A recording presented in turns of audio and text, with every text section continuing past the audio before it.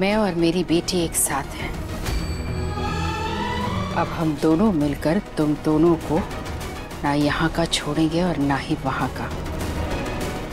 इतने दिनों बाद आदित्य और मैंने साथ में डिनर किया। उसे लगा ही नहीं कुछ मिसिंग है। बिल्कुल पहली बड़ी फीलिंग क्या आदित्य को भी ऐसा लगा था। तभी इतने खुश है।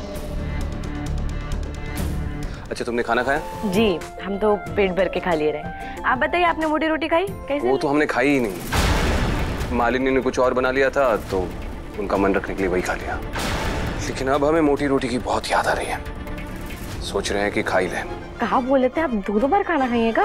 हाँ तो तुमने इतनी प्यार से बनाई है क्यों नहीं खाएँगे एक काम करो तुम बात करती रहो। हम तो जा रहे रोटी खाने। नो आदित्य इमली ने बनाए रोटीज नहीं खाएँगे। मैं इमली का कुछ भी इनके पास नहीं दूँगी।